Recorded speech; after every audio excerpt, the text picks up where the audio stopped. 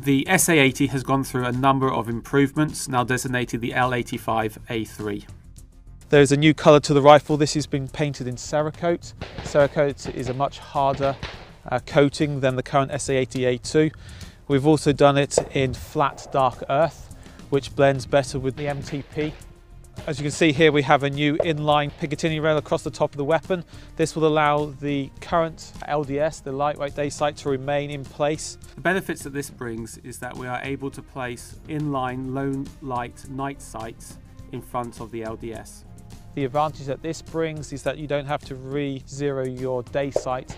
Uh, with the change lever, we've placed a new stud to make sure that this doesn't over rotate. We've increased the hole and put a bush in it.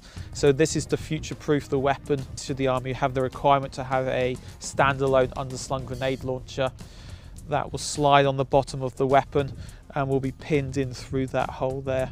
The handguard itself is more streamlined. It has KeyMod along the side here. This allows the sling loop to be moved and also the Picatinny rail on the other side so that the firer themselves can adapt the weapon much more to their own specification than was currently available on the A2. This is allowed for the laser light module, the LLM Mark III, to be placed on the weapon. The weapon itself in total is about 100 grams lighter than the A2. And the other advantage that the handguard has is that there is no impingement on the gas block, which is in here. Through user trials, we've noticed that this has increased accuracy as well as consistency of the A2. It was already excellent for the A2, but the A3 has taken it that step further.